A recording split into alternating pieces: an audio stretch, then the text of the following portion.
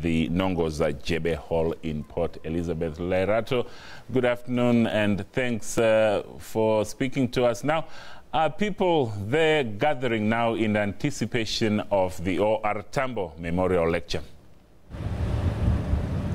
Well, a very good afternoon. We are broadcasting live from the Nangoza Jebe Hall, where people are anticipating to hear what Jacob Zuma is going to say. Various dignitaries are expected to attend, such as ANC Secretary General, Secretary General Gwede Mantashe. We know that yesterday he gave a keynote speech at the O.R. Tambo Memorial Lecture in Jeffreys Bay, where he really emphasized the importance for government to start funding tertiary institutions and also said that in order for us to build credible leaders such as O.R. Tambo, we need to start investing, investing in education. And in this afternoon, right now, we see a large of police around right now, but people slowly, surely wearing ANC gear, trickling in to hear what the president is going to say, especially in the wake of the Fee, Fees Must Fall campaign. And generally, what is the mood there at the hall?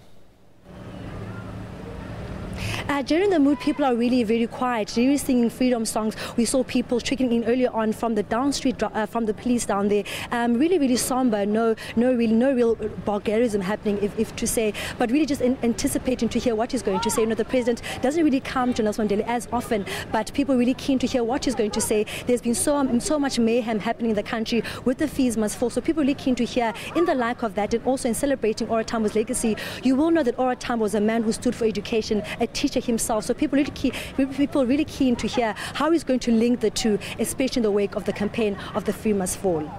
And Lerato, when you are speaking to people generally in Port Elizabeth, what are they saying about the president's visit to their city?